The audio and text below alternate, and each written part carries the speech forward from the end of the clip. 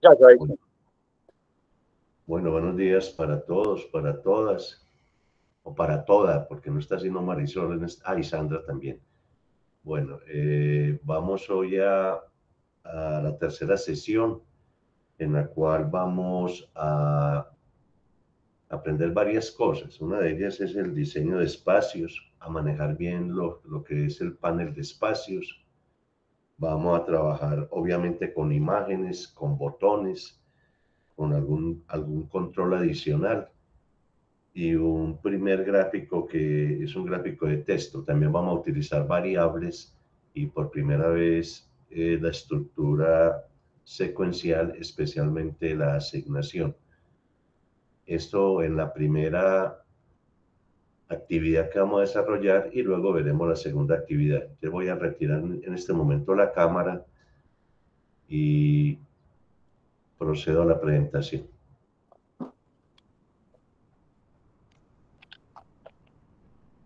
Les habíamos compartido eh, esta sesión 3, yo espero que la hayan leído y la primera actividad que vamos a desarrollar es esta, donde se pueden poner diferentes tipos de fondos y diferentes tipos de marcos. Aquí empezamos, digamos, con las primeras imágenes. Entonces, para ello, he abierto aquí el editor Descartes JS. Recuerden que yo lo reducía simplemente para la explicación, pero no significa que ustedes tengan que reducirlo demasiado lo digo por las eh, algunas tareas que vi que realmente están demasiado estrechos. Eh, igual yo puedo interactuar con los dos paneles, digamos con el editor de configuraciones y con la escena acá, que simplemente voy haciendo así como estoy trabajando acá. Y vamos a desarrollar la primera actividad. Lo primero que voy a hacer es guardar esta escena. Aquí están los que presentaron la tarea. Hay algunos que todavía la quedan debiendo. Y lo vamos a guardar, digamos, aquí en la sesión 3 en interactivos y en una clase que teníamos acá donde están todos los botones, los fondos, los marcos, patrones, etcétera. La vamos a llamar actividad 1.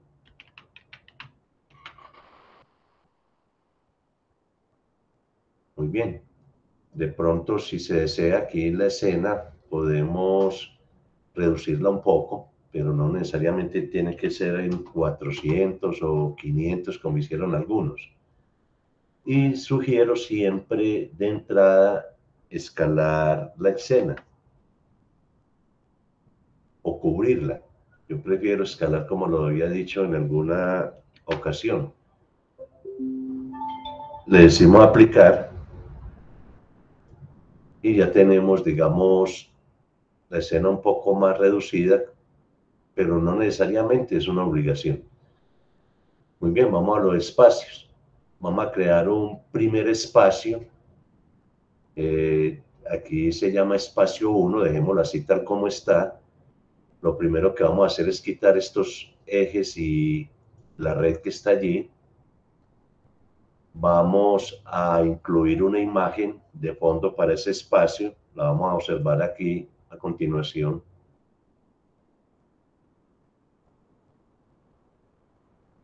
Estamos en la sesión 3 en interactivos y yo les había compartido varios fondos o al menos se podían descargar de el libro sesión 3 que compartimos.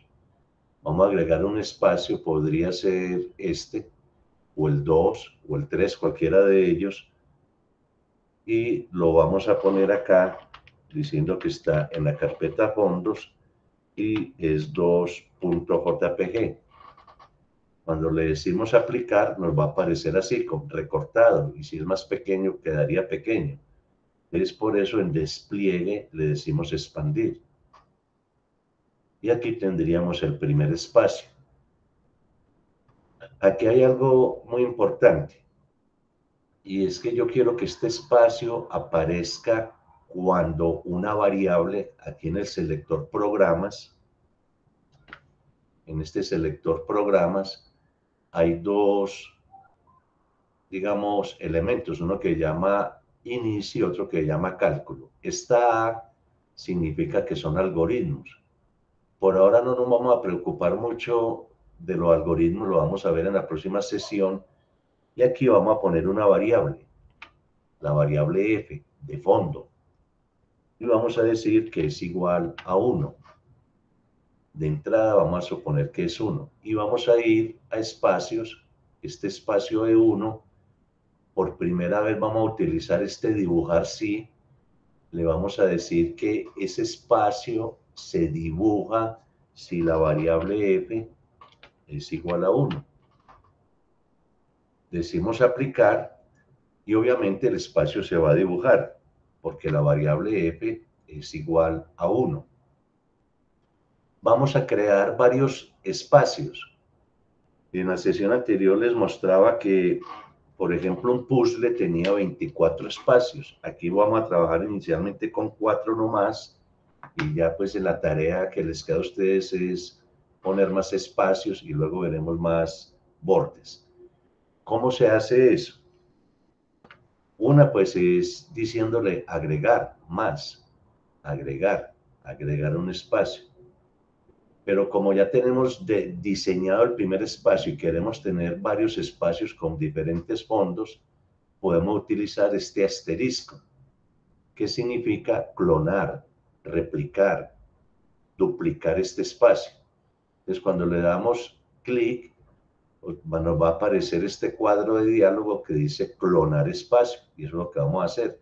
Lo único que vamos a cambiar es el nombre del espacio, espacio 2, y le decimos clonar. Entonces vemos que ya nos quedaron dos espacios. Pero este espacio 2 le vamos a decir preséntese cuando la variable f sea igual a 2. Y vamos a cambiar el fondo. Vamos a poner el fondo 3. Lo mismo vamos a hacer con el siguiente espacio. Clonamos este. Clonamos ese espacio. Lo vamos a llamar 3. Clonar. Y cambiamos esta variable. El valor de esta variable. Se presenta cuando la variable f sea 3. Se dibuja cuando f sea 3. Y vamos a mirar a ver qué otro espacio podríamos poner. Uno bien bonito. Por ejemplo, este 10pg, vamos a decir 10pg,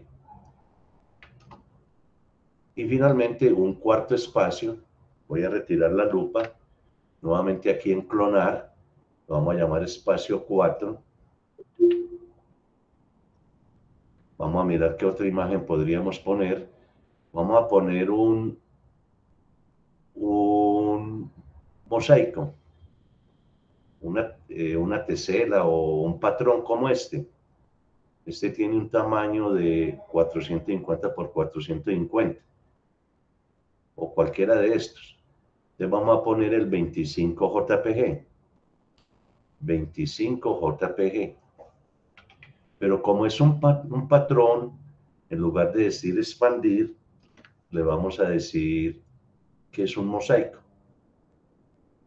Lo mismo, vamos a cambiar el valor de la variable cuando f sea igual a 4. Y de esta manera ya tenemos cuatro espacios. Si le digo aplicar, solamente me está mostrando el 1. ¿Por qué? Porque f es 1. Si yo le dijera 3, me mostraría el espacio 3. O si le dijera 4, el del mosaico. Entonces, por ahora dejémoslo en 1. Y miremos cómo podemos empezar a, a cambiar los espacios. Para eso vamos a utilizar un control. Entonces me voy a venir aquí al selector controles. Controles. Y en controles puedo agregar diferentes tipos de controles.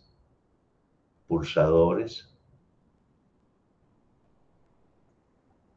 un control de audio, de barra, botón, y vamos a utilizar inicialmente el control tipo botón. dejémoslo con ese nombre, B de botón, botón 1, y le decimos agregar. Vamos a mirar qué características tiene el botón. En primer lugar, me dice, me pregunta que en qué región lo vamos a ubicar. Vamos a decir que lo vamos a ubicar en el interior de la escena. Por defecto está en el sur. Si yo le dijera aplicar, nos aparece el botón aquí en la parte inferior del, de la escena. Pero le voy a decir que la ponga en el interior de la escena. Inicialmente tiene esta expresión definida, que son las coordenadas donde va a aparecer el botón en la escena. Y recordemos que son coordenadas absolutas. Desde la esquina superior izquierda, la X avanza hacia la derecha y la Y es positiva hacia abajo. Entonces le vamos a decir que se va a ubicar en Y, pongámosle 150, en X, perdón, y en Y pongámosle 100 o sea, 150 a la derecha y 100 hacia abajo. Si le decimos aplicar, nos lo ubicó 150 a la derecha y 100 hacia abajo, el botón 1. El botón también le podemos poner imágenes.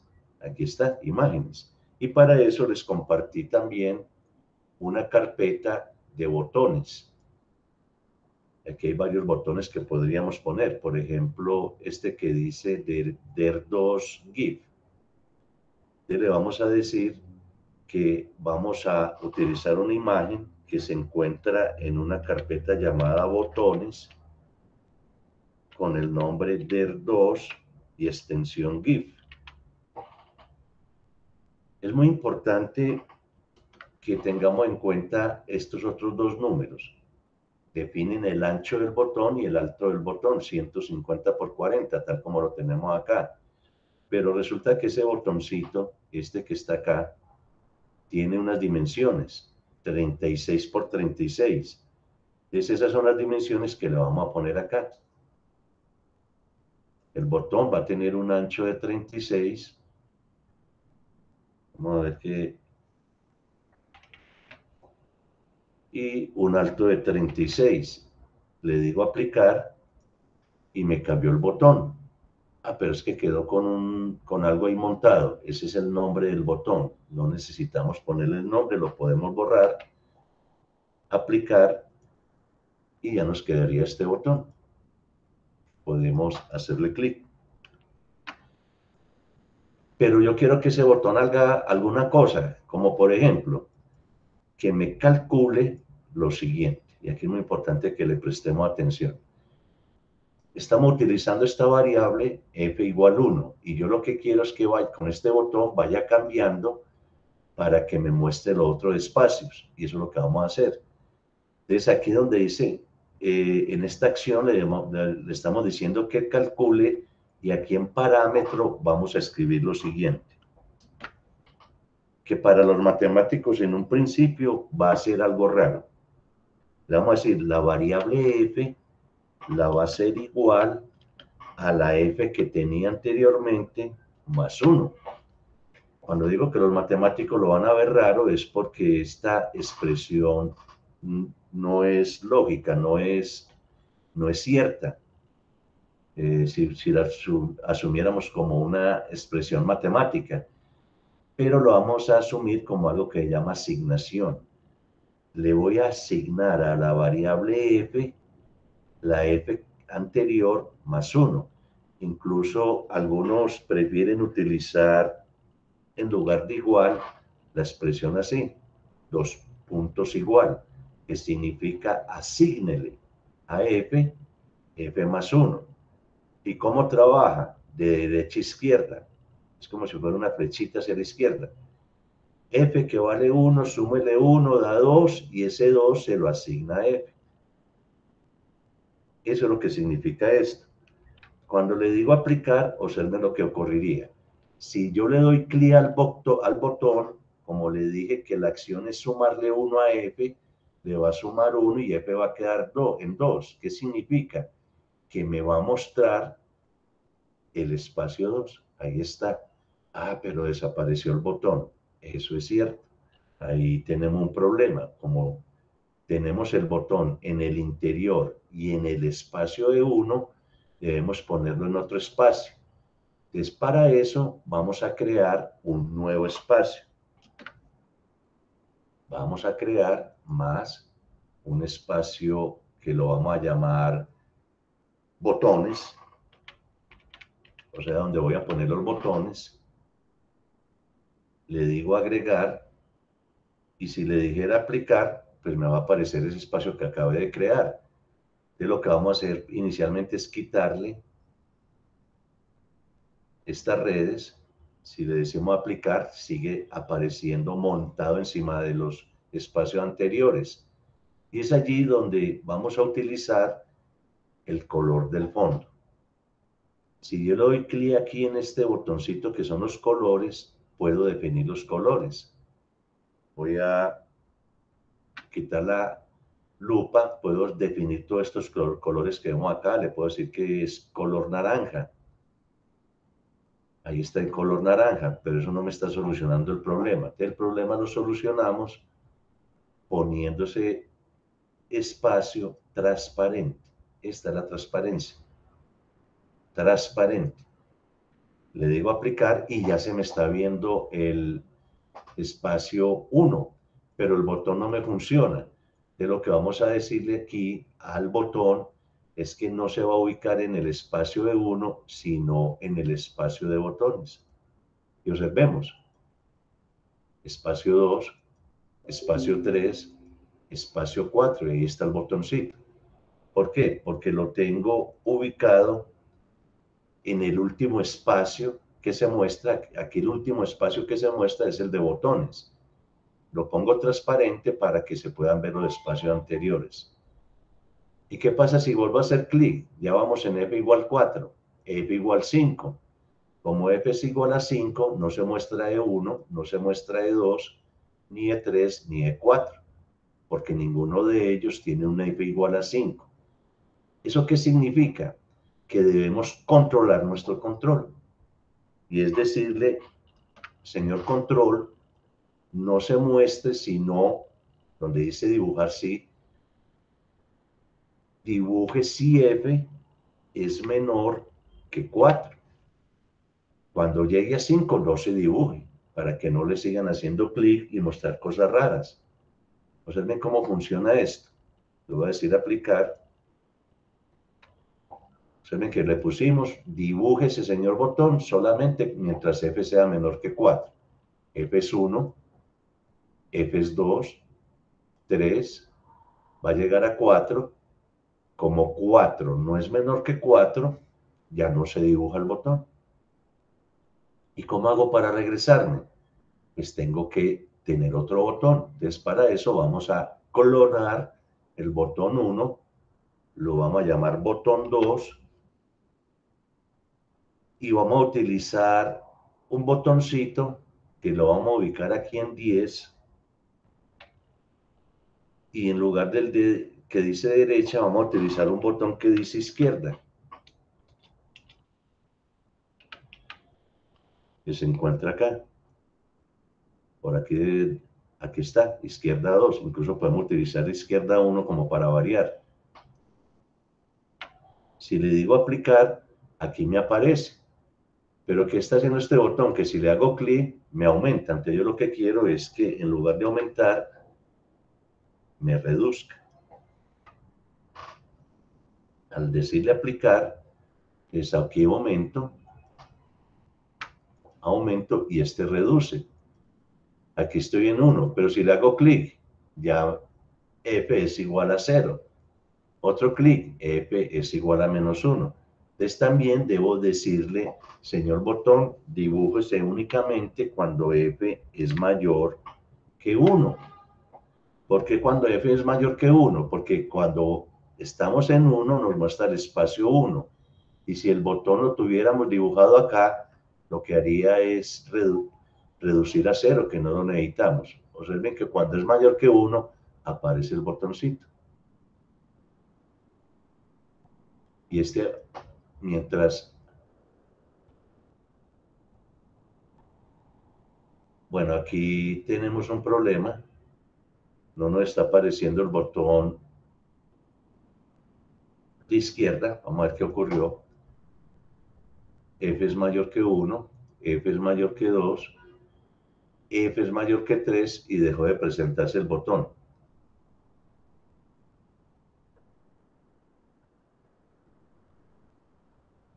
Bueno, no sé qué pasó ahí. Se debería dibujar de todas maneras.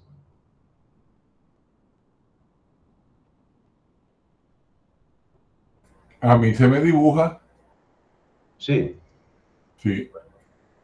Algo raro está ocurriendo. Uno, dos, hasta aquí va muy bien, lo está dibujando. Uno, dos, tres. Algo raro. Vamos a guardar y allí ya tendríamos la primera parte de nuestra escena. Vamos a poner aquí un título utilizando el botón gráficos, el selector gráficos. Le vamos a agregar un gráfico que para Descartes JS se llama texto. Obviamente hay diferentes gráficos. El que vamos a utilizar es texto. Lo vamos a agregar y aquí en texto le vamos a decir fondos. ¿Dónde lo vamos a ubicar? Lo teníamos, creo que eran 100. En Y100 y en X20 el botón vale 36, está 10, lo podemos poner en 50. Es en estas coordenadas, en 50 para que no se monte en el botón izquierdo y en 100 vamos a ponerle 22 de tamaño, le decimos aplicar y ahí nos aparece fondos. Ah, pero desapareció ahí. Eso ocurre porque debe estar en el espacio botones. Fondos. Y podríamos correrlo un poquitico más. Por ejemplo, en 60 y decirle que va a tener un tamaño de 28 píxeles. Y ahí si nos exageramos. Y nos están funcionando los botones. Ya después indago qué fue lo que pasó con cuando llegue a 4 porque se nos desaparece.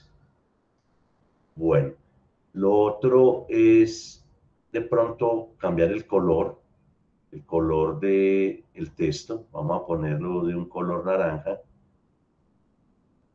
Ahí está, en negrita. Y de pronto le podríamos decir que le ponga un borde. Bueno, ya se está viendo más elegante. Voy a reducirlo un poquito porque está montado y ahí tenemos, digamos, la primera parte de la actividad. Sigo todavía pensando qué fue lo que pasó con el botón.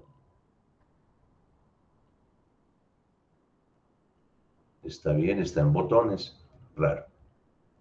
vamos a decir guardar. Voy a abrir, voy a recargarlo a ver si... Raro. hay algo extraño allí. Bueno, continuemos. Otra cosa que podemos hacer es agregar marcos.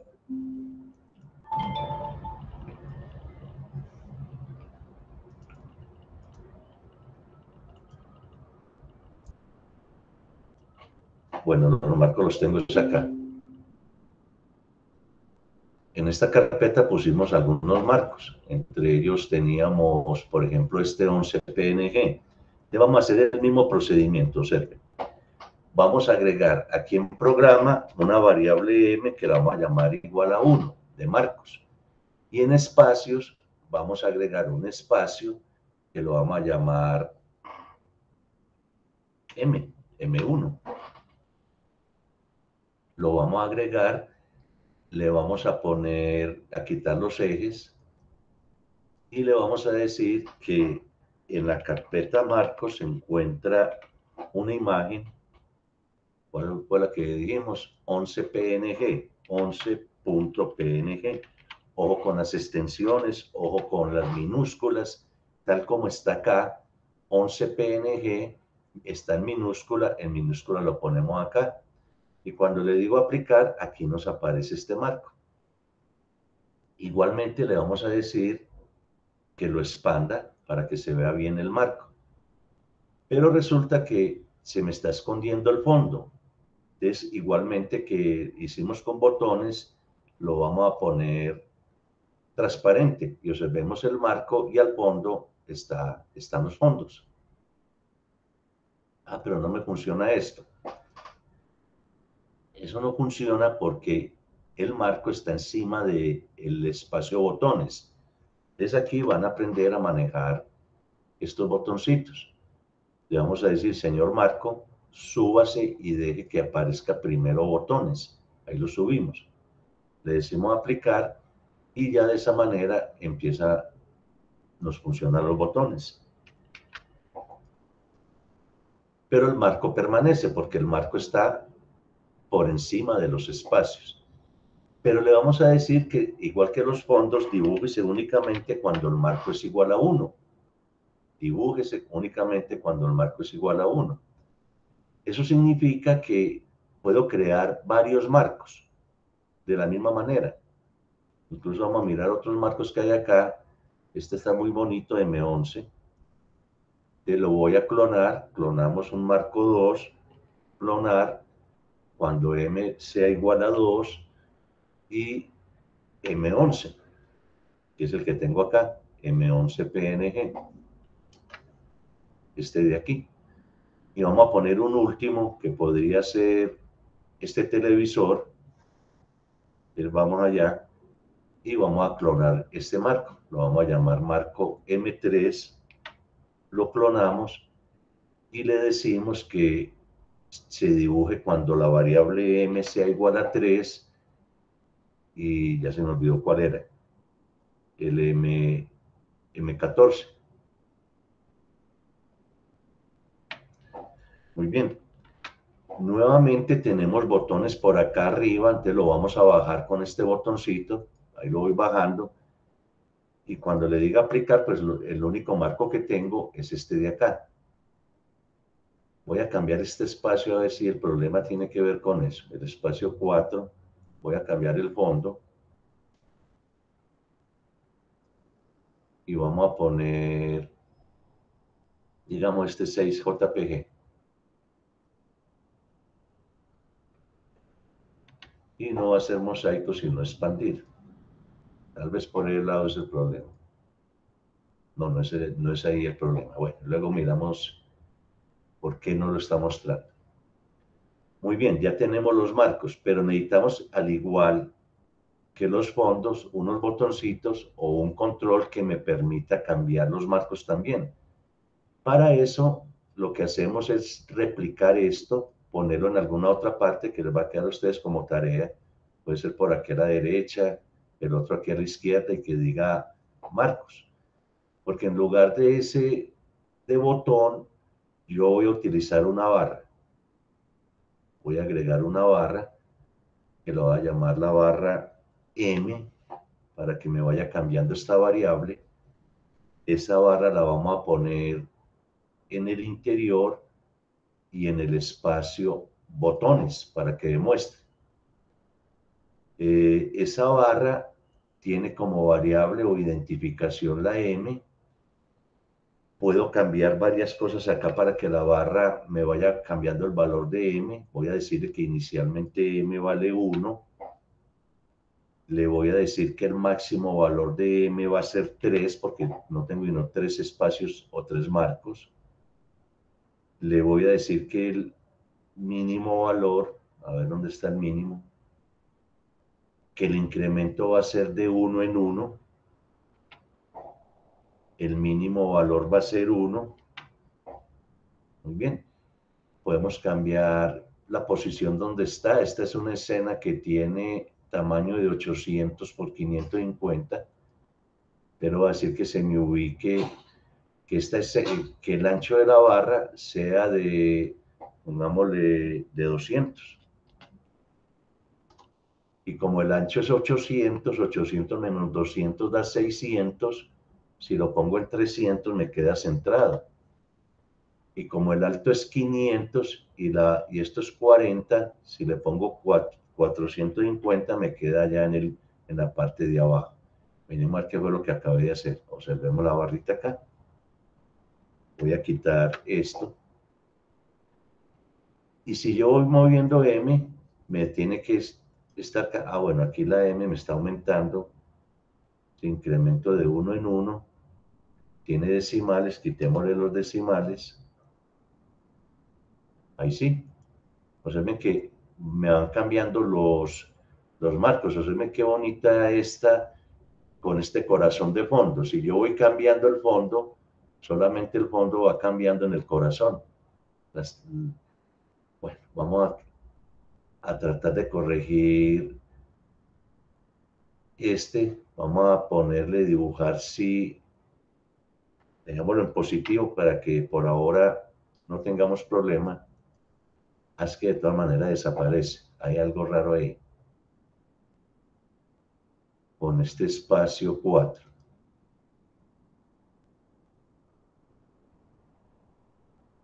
Y el control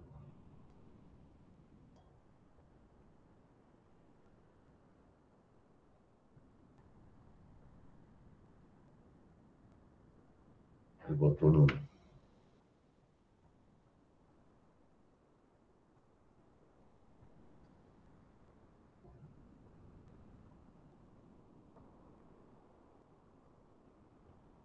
algo raro pasa con el espacio. Bueno, no, no, me voy a tener y cuando encuentre la solución, por el WhatsApp le explico qué fue lo que ocurrió.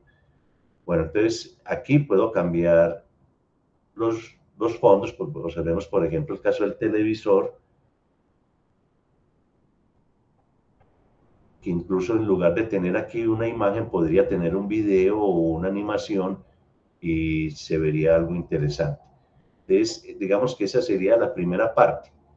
De hecho, yo tengo aquí varios que estuve diseñando, como por ejemplo este, utilizando diferentes tipos de botones, con una, aquí sí no, no nos está pasando ese problema,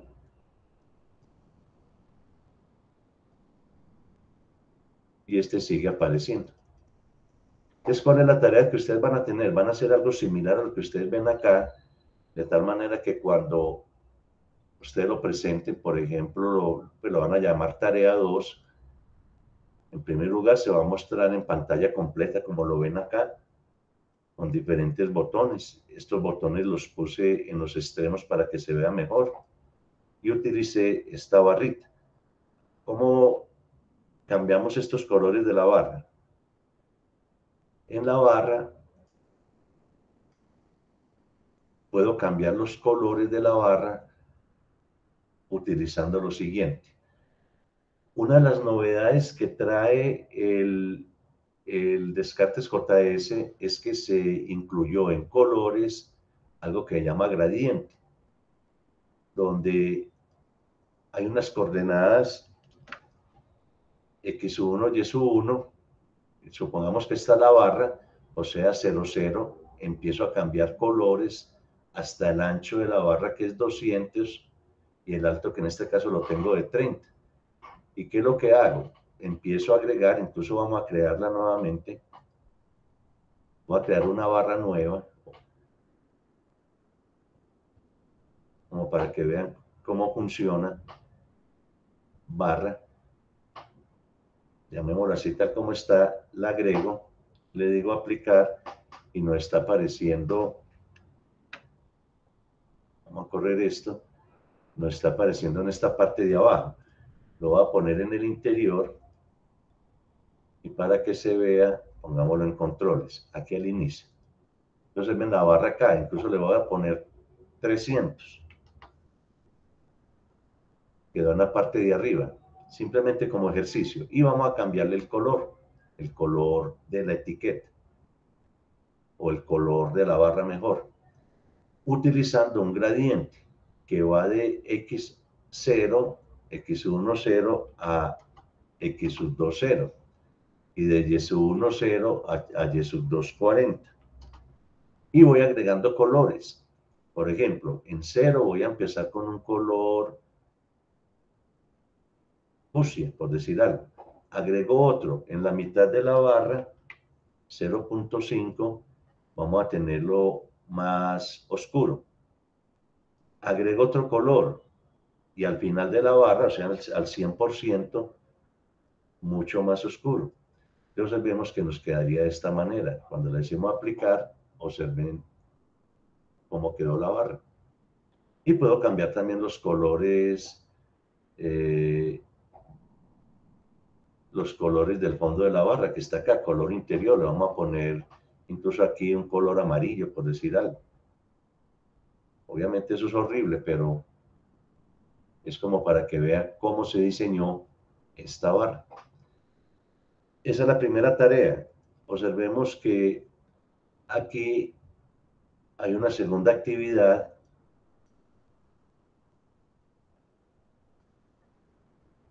que es diseñar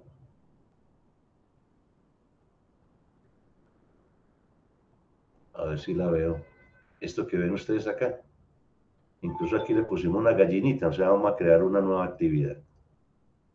Nueva actividad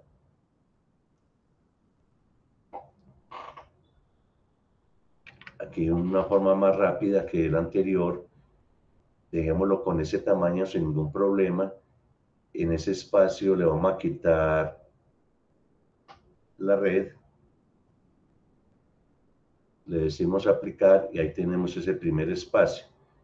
Y en ese espacio inicialmente lo que vamos a hacer es dibujar una gallinita que la debemos tener por aquí en imágenes.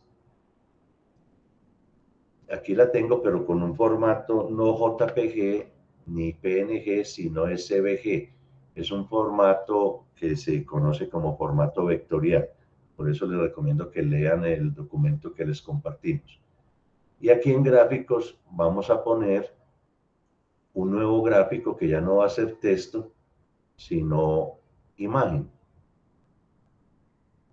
Y le decimos agregar. Miremos de qué trata.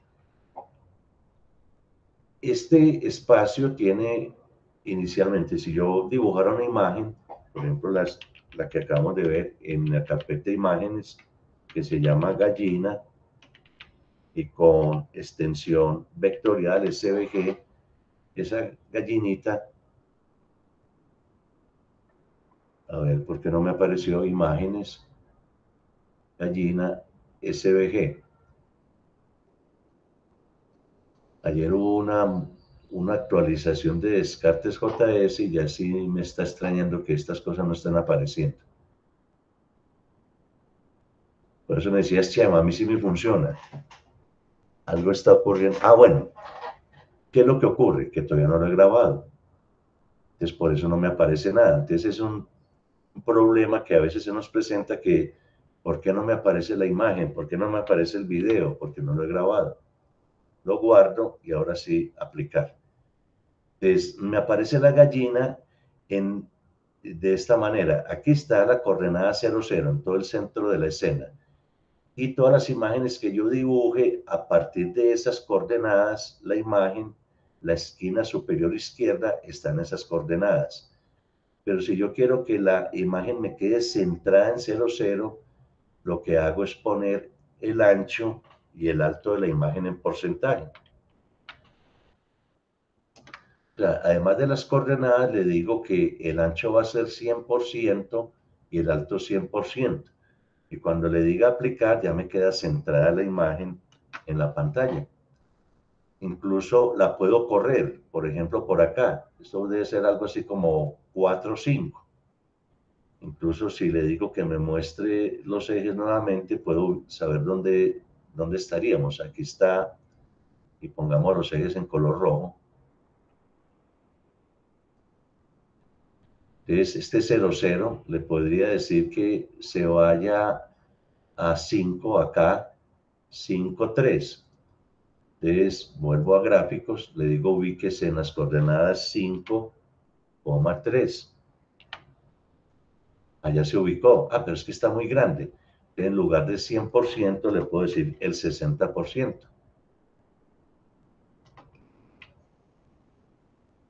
Ya me quedó más pequeña.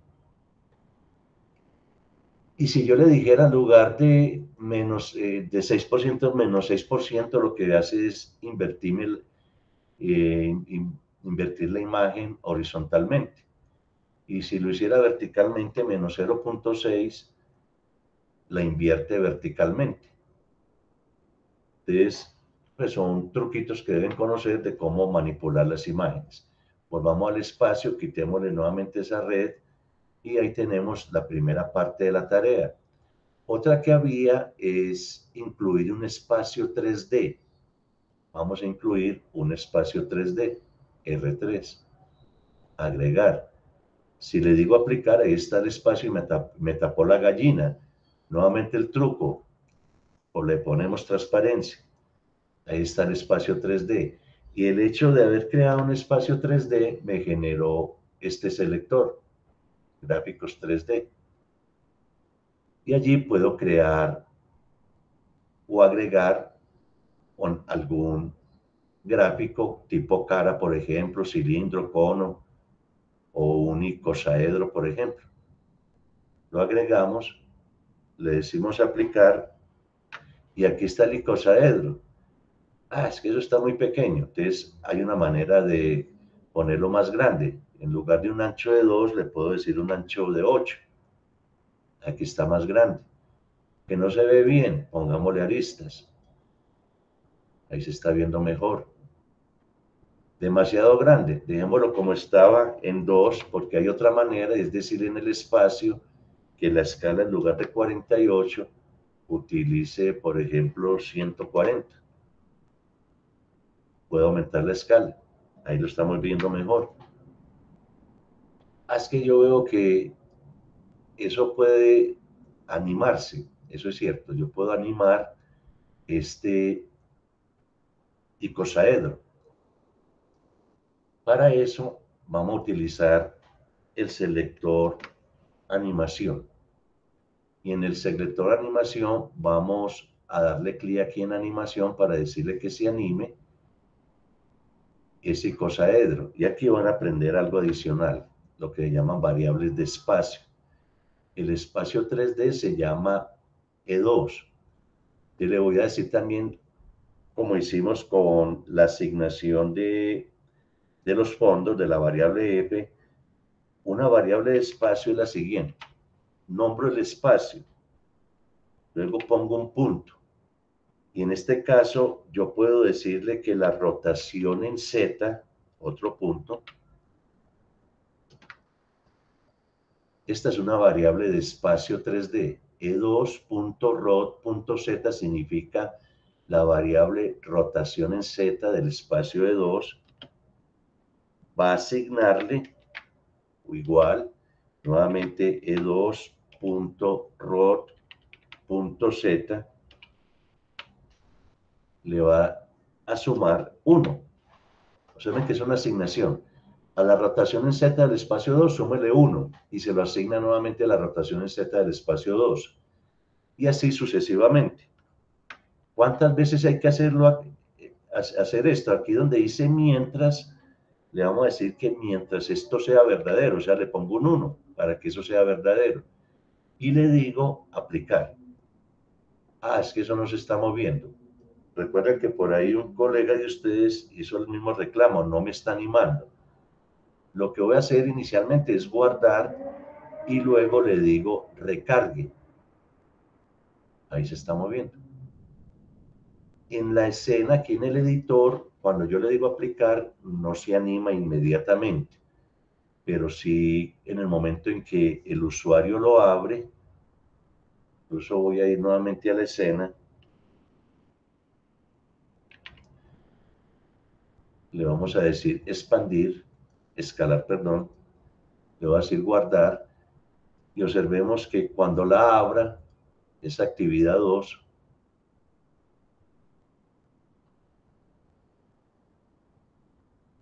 ¿dónde me, aquí está, automáticamente empieza a moverse. Muy bien. Regresemos nuevamente acá.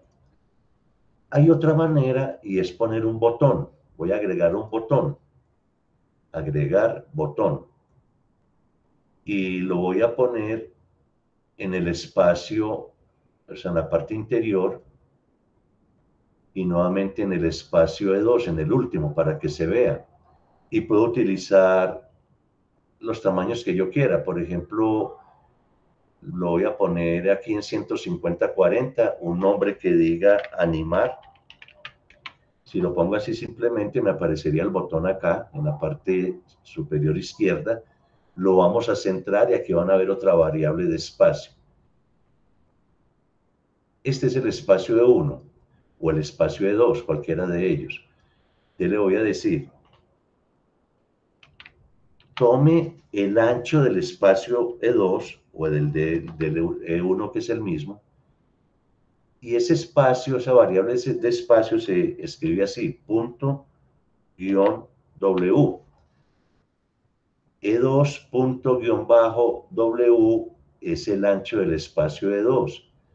Réstele 150, que es el tamaño del el ancho del, del control, y eso divídalo por 2.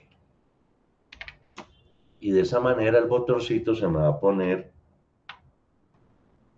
en la mitad de la escena. Observémoslo acá. Animar. Y le puedo poner una imagen. Observemos que hay unas imágenes eh, en botones también para botón. Por ejemplo, este 5 GIF. Y le voy a decir tome de la carpeta botones una imagen que se llama 5.gif. Bueno, se ve mejor. Puedo cambiar el nombre, el color del, del texto, lo podemos cambiar. Pongámosle un naranja. Bueno, en fin. Pero yo quiero que esto haga algo. Y nuevamente aquí en acción no le voy a decir que calcule, sino que simple anime, animar simplemente anime y observe, anima. Y le vuelvo a dar clic, no anima. Esa es otra manera para que se, la animación funcione. Incluso podemos agregar también una rotación en, en Y. Lo que hice fue copiar, copy, pegue, y en lugar de Z, Y. Y puedo ponerle un poquitico más de velocidad. Animar.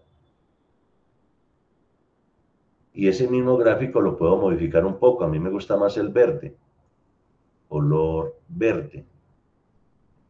Y le voy a poner cierta transparencia. Animar. Y vamos a agregar algo más. Al espacio E1 le vamos a poner un fondo, un fondo bien bonito. Imágenes. Por ejemplo, este Bunny PNG. Bueno, esos son, o más bien de estos fondos que tenemos acá, vamos a utilizar este 11JPG. De ese fondos 11.jpg y de una vez expandir. Bueno, el nombre, fono. Claro. Tienes razón. Entonces vemos cómo se ve bonito esto, la gallinita mirando el, el, el icosaedro. Y le podemos al gráfico aquí también poner una transparencia para que no me tape el fondo. Bueno, de alguna manera se alcanza a ver el fondo allá.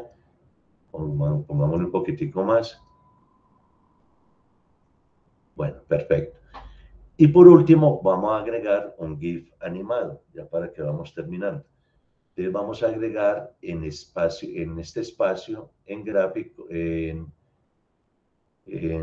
aquí en esta partecita de la escena, un GIF animado. Los GIF animados no los puedo trabajar con espacio 2D ni con espacio 3D, pero sí lo puedo hacer con un HTML. Vamos a poner, por ejemplo, este 3, que es de 320 por 220. ¿Eso cómo se hace? vamos a agregar un espacio HTML. Ya decía que era de 320. Es bueno poner un poquitico más por 230. 330 por 230. Pongámoslo aquí en 10, x igual 10 y y igual 10. Y lo vamos a poner, pues el, el archivo se encuentra en GIF, en la carpeta GIF y se llama 3.gif. Le decimos aplicar, observemos, aquí tenemos un GIF animado. Incluso hay uno muy bonito, voy, a replicar este. Eh, bueno, llamémoslo E4. A ver qué tamaño tiene este, 200 por 115, pongámosle 210 por 120. Y lo vamos a poner mucho más abajo. Este era 330, 300, pongámoslo en 370. Y ese se llama...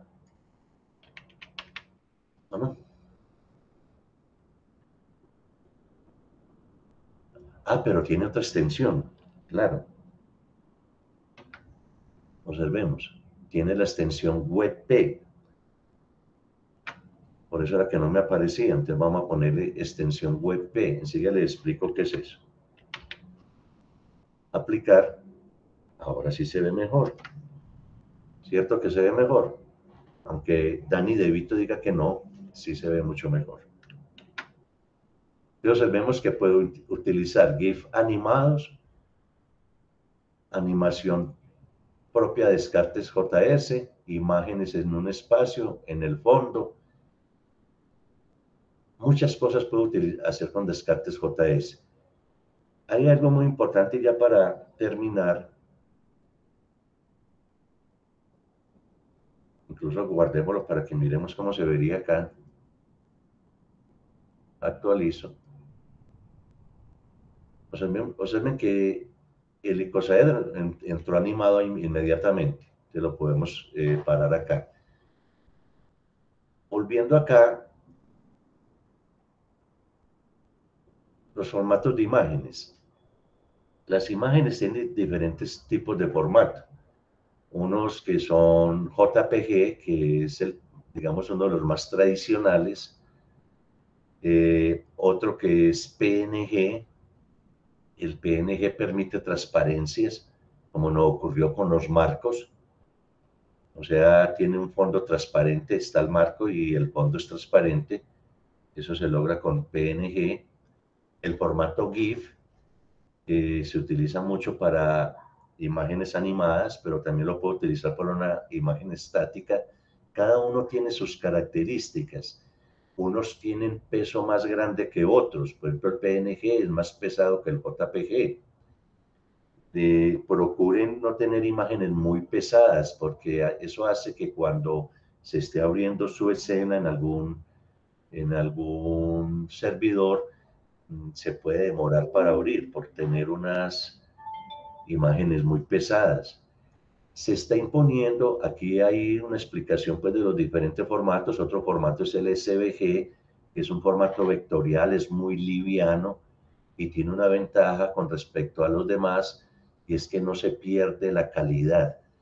El SVG, si yo aumento la imagen, la, la aumento de tamaño, ¿y cómo puedo aumentar de tamaño? Por ejemplo, observen la gallinita. La gallinita, si yo le pongo acá 2,6, significa que la voy a ampliar considerablemente de tamaño. Eh, aquí de pronto no tiene mayor problema, ah bueno, no tiene problema la gallina porque está en formato SVG vectorial. Si tuviera un formato distinto, JPG, incluso el PNG, empieza a deformarse o a distorsionarse o a veces, digamos, mal la imagen. Hay un, nuevo formato que ustedes vieron allí que utilicé para el caso de Danny DeVito, que es el WebP. Los, lo sacó eh, Google, eh, pero todavía no es compatible con todos los navegadores. Por ejemplo, el Safari de, de, de Apple no, no funcionan ese tipo de formatos. Pero poco a poco se va a imponer porque es un formato muy bueno tiene las características de imágenes vectoriales y también se pueden utilizar imágenes animadas, como vieron en el caso de, de Dani DeVito. Aquí están las explicaciones de cada uno de ellos, lo que les decía de poder tener un marco como el televisor y en lugar de una imagen en el fondo, un video o una animación. Aquí les dejé unos enlaces donde se sacaron cada una de, esas imágenes, especialmente en FreePic, para fondos o también para marcos. O para eh, patrones. Bueno, eh, ya les va a quedar este video grabado como para que observen de cómo pueden hacer todo este tipo de trabajos y puedan hacer la tarea. La tarea es la misma actividad uno que hicimos, pero van a poner varios fondos, varios marcos, en lugar de cuatro como yo tenía, unos seis, siete y en lugar de tres marcos, unos tres, cuatro, perdón, cinco, seis marcos. Mm, lo que se está pidiendo es un poco de creatividad y hacer el ejercicio, porque si no lo hacen, pues eh, se quedarán con lo que explicó aquí Juan Guillermo y lo que se muestra en este, en, este libro y seguramente no va a ser suficiente. Yo veo que eh, algunos ya hicieron la tarea uno, lo hicieron muy bien. Mm, cuando digo muy bien es porque supieron distribuir los espacios y utilizar elementos para esos espacios a veces se presentan errores como le pasó a, a, uno de ustedes que el video no aparecía o, o en otro caso no aparecía la página HTML. No todas las páginas HTML se dejan embeber o se dejan poner en un, en un espacio HTML, por eso siempre deben estar verificando. Mm, yo siempre he recomendado evitar al máximo tener, tener enlaces externos. Ojalá todos sean local. Este es un ejemplo más. Aquí estamos utilizando botones que al hacer clic cambia una variable y al cambiar esa variable me permite mostrar un objeto 3D, que en este caso es la botella de Klein o en este caso es la manzana o la cinta de Mobius, o el toro, o simplemente la foto. Ustedes saben que es un espacio que tiene un fondo, que es una imagen, eh, incluso aquí, eh, ah bueno, sí está bien, pensé que no se había puesto en expandir, y tiene un espacio 3D encima de la imagen, transparente, y al hacer clic en alguno de estos botones, cambia una variable de tal manera que aparezca una superficie paramétrica, que es lo que estamos mostrando allí. Bueno, ya les queda a ustedes pues la tarea y regreso acá. Nos pasamos de tiempo si alguien tiene alguna pregunta. Aquí dice todos silenciados.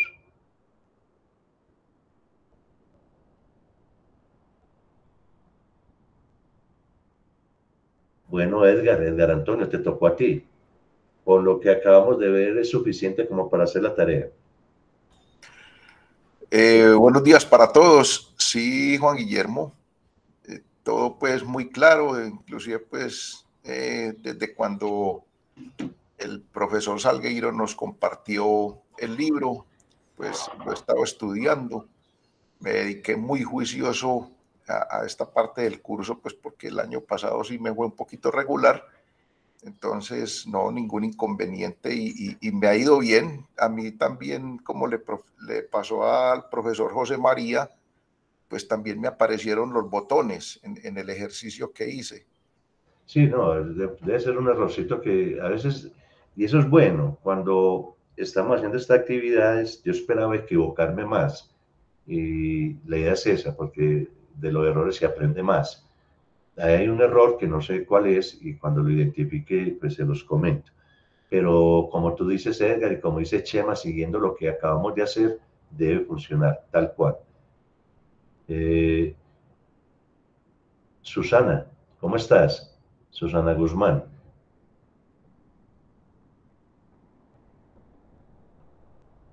Bueno, Susana, bastante tímida. Eh, Jaime Humberto, ¿cómo vas con tu trabajo?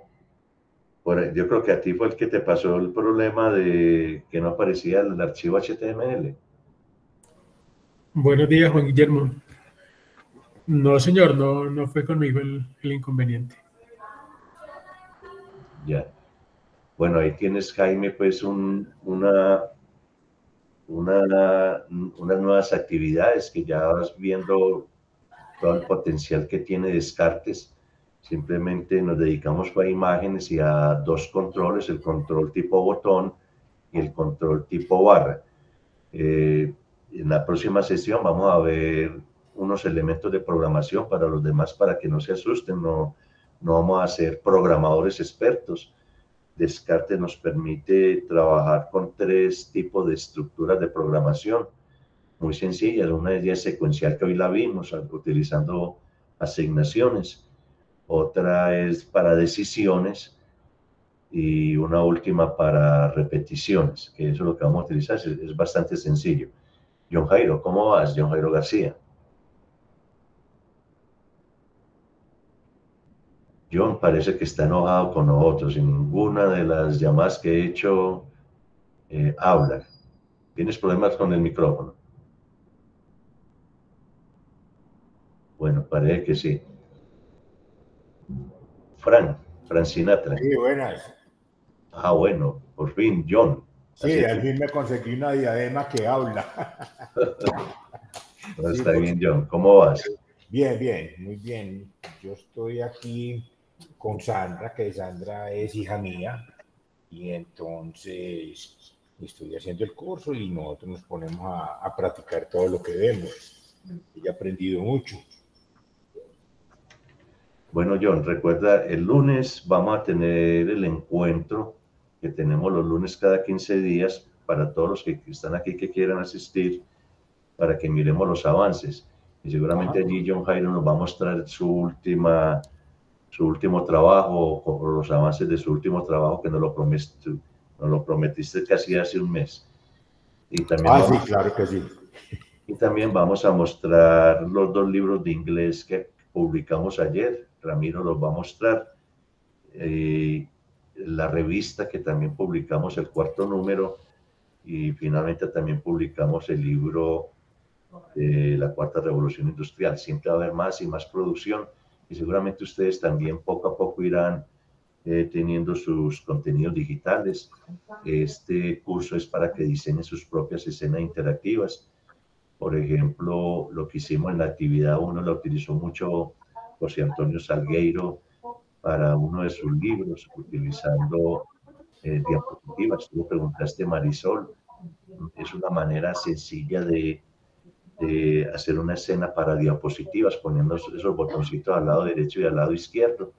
Y tenés una, una escena para presentar diapositivas sencilla, pero se puede hacer. Y en lugar de tener imágenes, también tener GIF animados o videos y cosas por el estilo y próximamente les voy a hacer un videito mostrando cómo podemos tener un presentador de, diapositivas utilizando lo que hicimos hoy y utilizando diferentes espacios.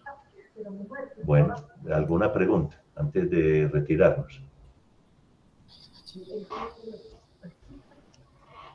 Están muy callados. Recuerden de, hacer la tarea, se llama tarea 2.html esta es la que van a subir. Igual eh, la vamos a revisar y la vamos a evaluar. Marta, ibas a decir algo, Marta. Hola, ¿qué tal? No, este, me llamó la atención este, que dijiste los, los, matemáticos con la estructura esta de la asignación F es igual a F más 1.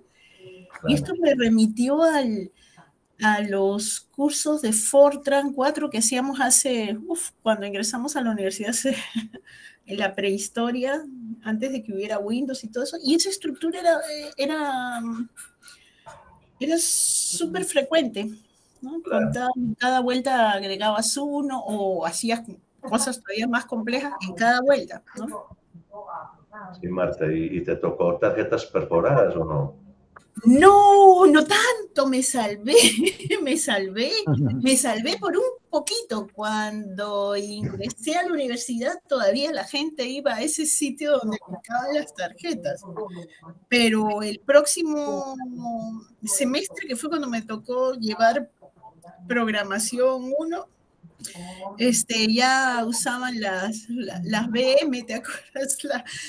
las máquinas virtuales que eran, eran igualitas que una, eran igualito que una PC, pero eran terminales de un centro de cómputo donde tú tenías que ir a recoger tu impreso, tu cuestión. Me salvé por un poquito. Y, y, te salían varias páginas diciendo syntax error, syntax error. a mí no, a mis compañeros. Yo sí a, mí me tocó mucha cinta perforada, mucha tarjeta perforada y, yo recuerdo aún hoy en día la primera vez que vi la conexión entre una Iris 10 y, un, y, un, y una pantalla. Eso fue algo eh, impensable y no soy tan viejo, ¿me oyeron? Amigable, negra con letritas verdes, una cosa así. Pero era el epítome de la modernidad. Es que, yo estudié en la Universidad Nacional de Ingeniería, o sea, esa fue la primera que tuvo pues el, el, centro de cómputo, ¿no? Era, uff, era súper moderno. Y los listados eran, pues sí, eran páginas y páginas de ese papel continuo, ¿no? Sí, sí, eh, verde y blanco, verde y blanco el papel. Sí, solamente la página de decir, hola, ¿cómo estás? Este es un programa para tal cosa. ya, necesita un montón de líneas de, ¿no? Bueno, eh, esa estructura la veo, cuando yo lo vi dije, ay, pucha, o sea, fue como algo emocionante, un déjà vu, ¿no? un déjà vu. sí. Sí, pero lo importante es entender la asignación, no es F igual a F más 1 así no se debe entender, sino como F más 1 se asigna F. Claro, cada vuelta le sumas uno, incluso, o le restas uno, incluso podía hacer más cosas, claro. Correcto. Bueno, ahí quedan eh, pendientes para la última sesión de este año, que va a ser programación. No se asusten, insisto, o sea, son cosas sencillas y ahí terminamos. Un abrazo para todos. Muchas gracias y feliz día para feliz día para todos. Bueno, feliz fin de semana para todos. Buen fin de semana, gracias. Día, un abrazo.